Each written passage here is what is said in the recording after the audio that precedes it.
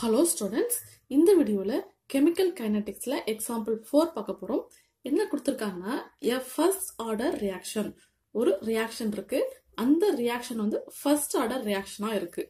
Eight hours for ninety percent completion அதாவது இந்த ஏங்கிற ரியாக்டன்ட் வந்து இருக்குன்னு வச்சுக்கோங்களேன். இந்த ரியாக்டன்ட் வந்து தொண்ணூறு பர்சன்ட் ப்ராடக்டாக மாறுறதுக்கு எட்டு மணி நேரம் ஆகுது. அப்போது calculate the time required for 80% completion. 80% completion ஆகிறதுக்கு எவ்வளவு நேரம் ஆகும்னு கேட்குறாங்க அப்புறம் லாக் ஃபைவோட வேல்யூ லாக் டென்னோட வேல்யூ கொடுத்துருக்காங்க. இப்போ நம்ம சம் போடுவோம். நமக்கு ஃபர்ஸ்ட் ஆர்டருக்கான இன்டகிரேட்டர் ரேட்லாம் தெரியும்.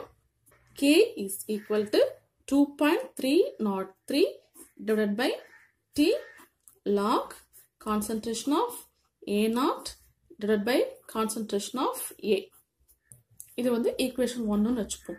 இப்போ கான்சன்ட்ரேஷன் ஆஃப் ஏ நாட் அதாவது இனிஷியல் கான்சன்ட்ரேஷன் பர்சன்ட்ல கொடுத்ததுனால நம்ம இனிஷியல் கான்சன்ட்ரேஷன் வந்து ஹண்ட்ரட் மோலாரிட்டின்னு எடுத்துப்போம். தொண்ணூறு பர்சன்ட் வந்து முடிஞ்சிருக்கும் போது அதோட கான்சன்ட்ரேஷன் எவ்வளோ இருக்கும்? அதாவது நூறுல தொண்ணூறு பர்சன்ட் வந்து ரியாக்ட் ஆயிடுச்சு. மிச்சம் எவ்வளோ இருக்கும்? பத்து பர்சன்ட் தான் இருக்கும் இல்லையா? அப்போ கான்சன்ட்ரேஷன் ஆஃப் ஏ வந்து டென் மோலாரிட்டி இதுக்கான டைம் தான் அவங்க வந்து எயிட் ஹவர்ஸ்னு கொடுத்துருந்தாங்க. இப்போ எயிட்டி பர்சன்ட் நம்ம கண்டுபிடிக்கணும் இல்லையா?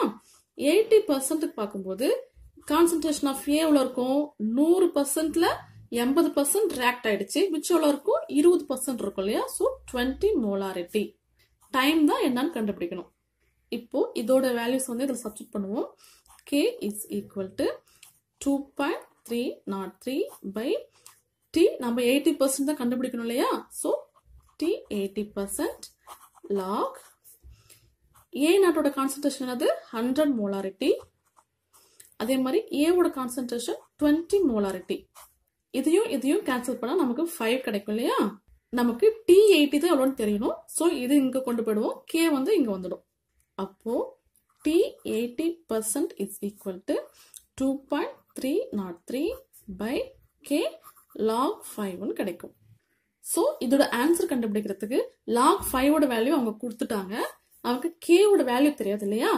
நைன்டி பர்சன்ட் ரியாக்ட் ஆகிறதுக்கு எட்டு மணி நேரம் ஆச்சு அப்படிங்கிற இந்த டீட்டெயிலை வச்சு நம்ம கே வேல்யூ கண்டுபிடிப்போம். அதுக்காக இதை வந்து ஈக்குவேஷன் டூன்னு வச்சுப்போம்.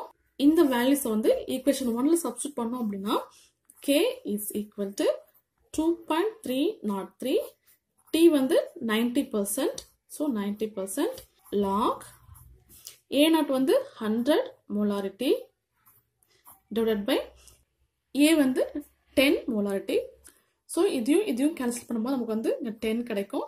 So K is equal to two point three not three T நைன்ட்டியோட time என்னது? டி நைன்ட்டிக்கு வந்து எயிட் ஹவர்ஸ் ஆச்சுன்னு பார்த்தோம் இல்லையா? So eight hours log ten log டென்னோட value வந்து ஒன்றுன்னு நமக்கு தெரியும். So K is equal to two point three not three by eight ஹவர்ஸ்னு கிடைக்கும். ஸோ கே வேல்யூ கண்டுபிடிச்சிட்டோம். So equation three in equation two T eighty percent is equal to two point three not three divide by கேவோட value வந்து two point three not three by eight hours log five இங்கே two point three not த்ரீயும் two point three not த்ரீயும் cancel ஆகிடும் இந்த eight வந்து மேலே போயிடும் இல்லையா?